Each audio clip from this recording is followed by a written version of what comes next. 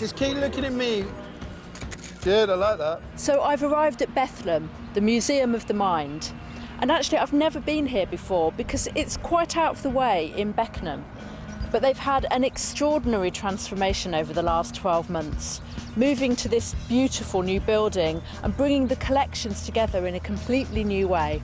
So I'm really looking forward to exploring. The museum forms part of the Bethlem Royal Hospital, an institution that's been around for almost 800 years. Known as Bedlam, it gained infamy throughout the Middle Ages. But in 2016, the hospital provides sound mental health care, a mission supported by the museum's focus. I'm here to meet Xavier White, an artist whose work is on show in the museum. Following a life-changing cycling accident at the age of 18, Xavier became a patient at Bethlem's sister hospital, Maudsley, for an extended spell. I asked him to show me around the gallery. You came to the Maudsley first because of a, a head injury Yeah, in a yeah, I had. I, had, I had a head injury, 10 days in a coma. Didn't know whether I'd live or die. If I lived, what sort of, how I'd be.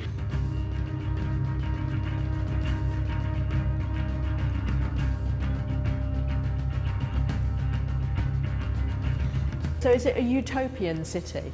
Yeah, for me it's a utopian city, but it was originally set out as a mind map for me to deepen my studies with various different frameworks. Right. Yeah. So there's a very different kind of work in here um, by an artist called Elise Paquette. Is that Yes, right? that's right. It's more dystopia.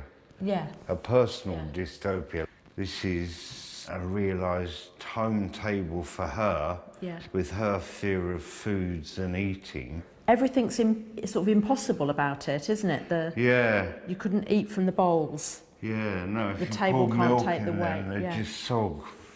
For a family, the dining table is where you all meet. So if that's impossible for her, you don't. You miss out on a lot Yeah. of interaction with your family. Yeah. Incredibly powerful. Yeah. It's not just artistic works that are on show at Bethlem. Many of the display cases have nods to the institution's notorious history. But given the sensitivities around the collection, they're displayed in a curious way. We're in a section of the museum called Freedom and Constraint, and I can see that you don't shy away from some of the really difficult parts of the treatment of mental illness down the centuries. But you've made some quite careful curatorial choices.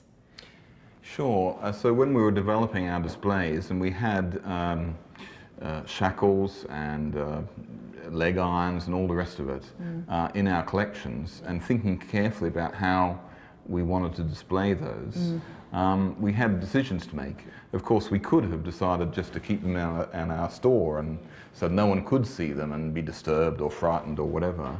But we felt that we had a duty to show them in some way. Equally, we didn't want to display them in a gothic way, a way in which I, I guess would be voyeuristic, sort of lowest common denominator, bring the crowds in and see the awful change. Yeah, the things that we used to do that, are, you know, So yes, they are challenging objects uh, to know quite how to display, and we feel, rightly or wrongly, we've done it in a way which allows people to opt into the experience of Yeah. seeing everything, but also opt out of them if they just find at the moment it's, it's too much Yeah. for them. Up until last year, the Museum of the Mind was little more than a broom closet annexed to Bethlem Hospital. As it now assumes national status, it must grapple with questions about how it presents the work in its collection. So, Caroline, you've undergone the most extraordinary transformation here over the last 12 months. Tell me about what's happened. It really has been a transformative experience. The museum has been on the site since 1970, mm-hmm. but in very different premises to these. So we feel that this is now a much more fitting home for the collections, both the art collection and the archives. And um, we have a collection at the Whitworth which um, shares some similar artists to those that you have on display here. And it used to be called an outsider art yes. collection. Um, and for us, it's part of the mainstream collection. Um, tell me about your feelings around that sort of terminology.